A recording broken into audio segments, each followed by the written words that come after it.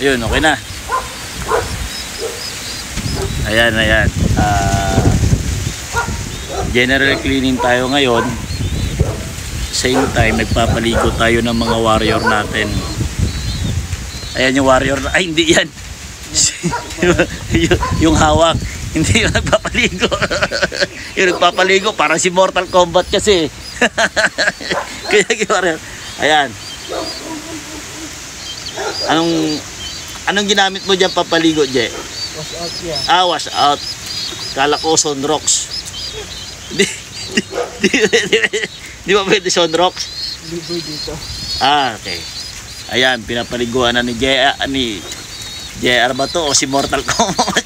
ni Mortal Kombat. Ayun, tapos ito na ang iba.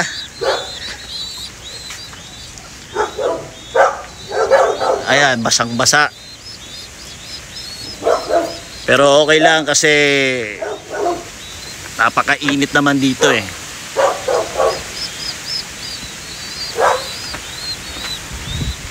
Tapos yung pinagpaliguan nila, yan yung i-spray natin doon sa loft natin sa loob para yung mga ano doon ah, peste kung ano mga ano doon ma, mamamatay. Wag lang sana yung ibon yung mamatay. Wala na tayo ibang laban dyan.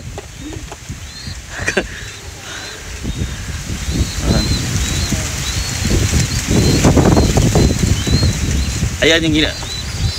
Ipakita mo yung spray, parang ihi mo yung parang... Ayan, yan. Ini-spray ngayon ni, ni JR para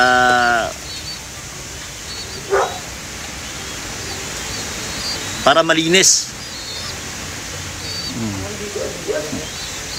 First bat yung ginawa natin sa mga ibon, ibig sabihin, pinapaliguan talaga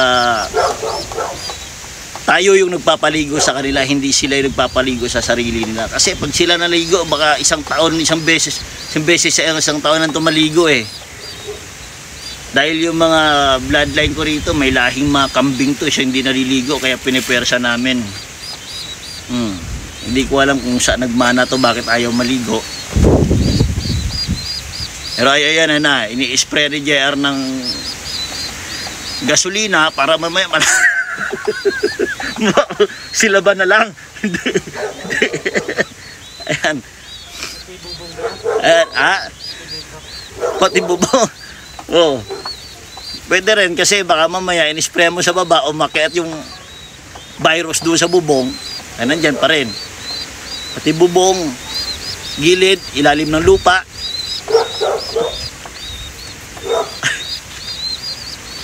Ito guys, ay- ito yung mga bagong pisa natin, dalawang, dalawang pares lang pero eh, konti lang naman kasi yung ibon natin eh. Hindi ko naman kailangan ng marami dahil hindi ko naman kaya na magpatuka.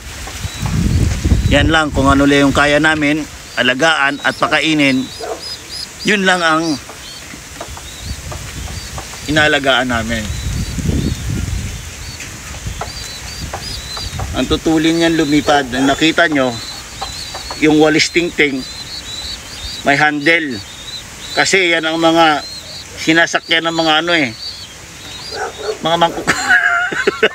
Kaya, yun ang training nila. Lalo na sa mga YB na yan, dyan muna sila sumasakay sa walis tingting.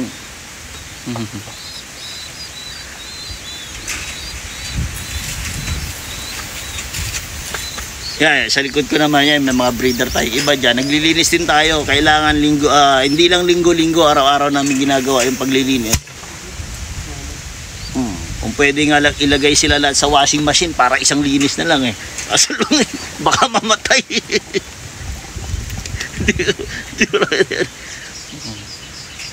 Hindi, hindi.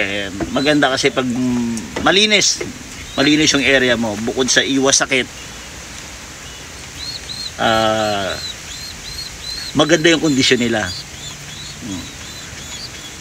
Ah, isa sa mga sikreto para mag-maintain mo yung malinis yung area mo, alisin mo yung alaga mo. Sige, tama na to.